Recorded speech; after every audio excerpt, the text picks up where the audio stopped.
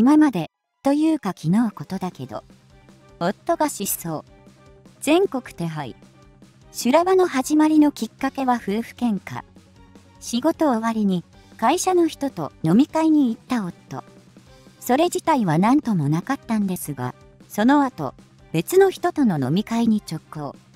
その際に生活費のほとんどを使い込んでしまったと。給料日までどうするの？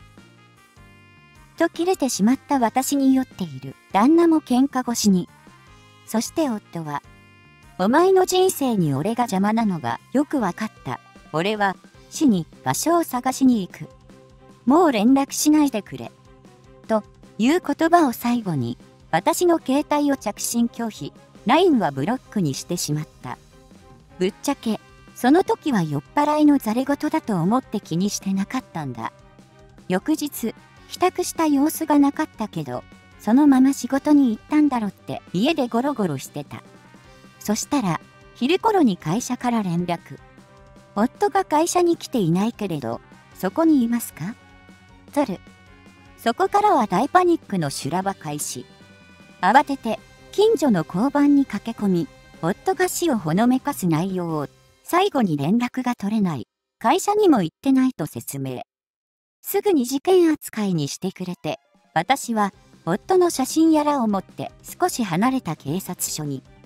失踪届を近隣に接する県が近いからということもあり、全国手配で提出。携帯会社への情報開示請求をしてもらい、夫の携帯で位置情報を出してもらうことに。何もできることがなくなった私は帰宅。自宅待機をして万が一夫が帰ってくるのを待っていた。帰宅して2時間、警察から電話る。旦那さんの位置情報が出ました。我々も向かいますが、奥さんも向かってみてください。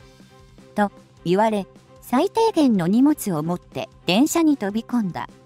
言われた付近を探し歩いたが、夫も、夫の携帯も見つからない。心配してきてくれた共通の友達と警察からの連絡を待ったが、それもなかった。その後、位置情報が出たところに近い交番の人にも状況を説明して、見回りの際に探してみるから、もうすぐ終電だから一度帰宅を、と促されて帰宅。そしたら、部屋の明かりがついている。家に駆け込むと、そこには、疲れた様子で布団に倒れ込んでいる夫。泣いた、もうね、近所迷惑とか、頭からスポーンってなるくらいに、泣いた。慌てる夫の話しを聞いてみると、昨日の飲み会帰りからの記憶がないらしい。